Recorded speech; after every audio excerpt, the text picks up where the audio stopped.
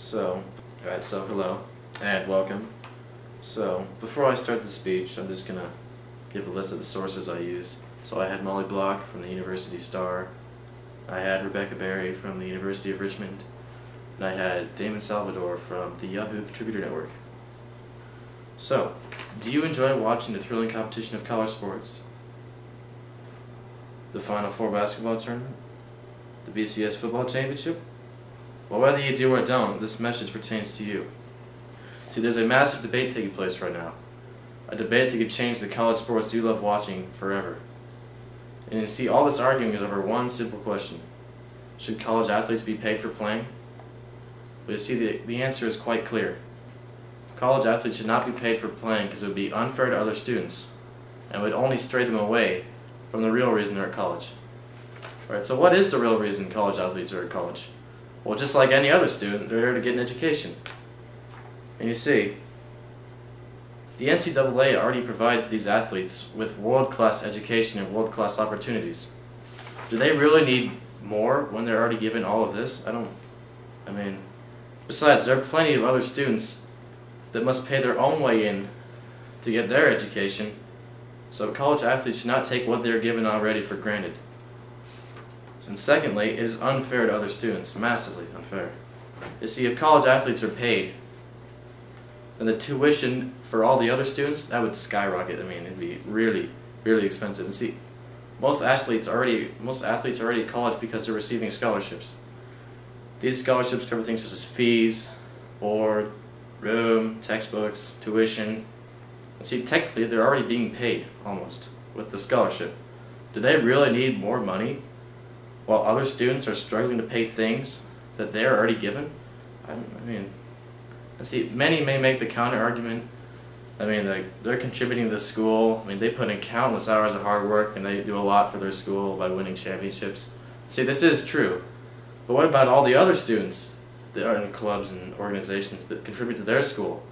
Shouldn't they be paid? What about high school students? High school students contribute to their school. Should they be paid? You see, in the end, it's just not fair if you you can't just pay some because if you pay some and don't pay the uh, the rest, that's just hypocritical, and that wouldn't make sense. And finally, if athletes were paid, the thrill of watching college sports would deplete rapidly. You see, rather than being paid on their skill or ability, just as the pros, the college athletes would be paid on their fame, be paid on their fame and their image, not their ability. See, the amateurism of college sports allows for a healthier team culture and overall mission, something that the pro athletics don't necessarily have. And finally, being paid only puts more pressure on college athletes. I mean, these guys put in countless hours of hard work and they got a balanced school on the side. I mean, I don't think they need more pressure. That's just brutal. So, to wrap this up, I have just explained to you one side of the debate for pay for play.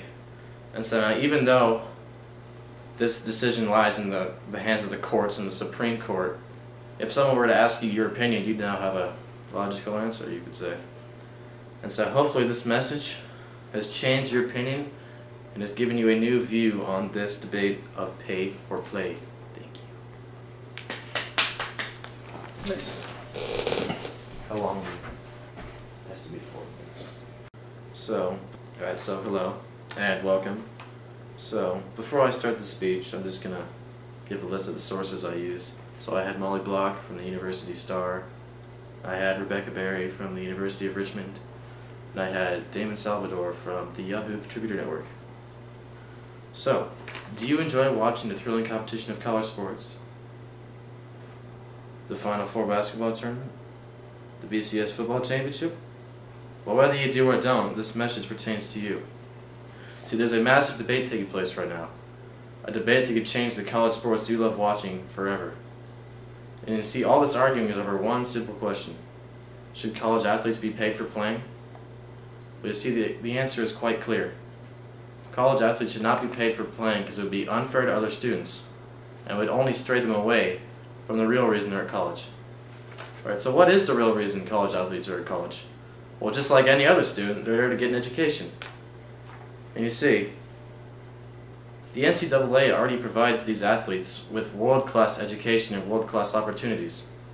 Do they really need more when they're already given all of this? I don't, I mean, Besides, there are plenty of other students that must pay their own way in to get their education, so college athletes should not take what they are given already for granted. And secondly, it is unfair to other students, massively unfair.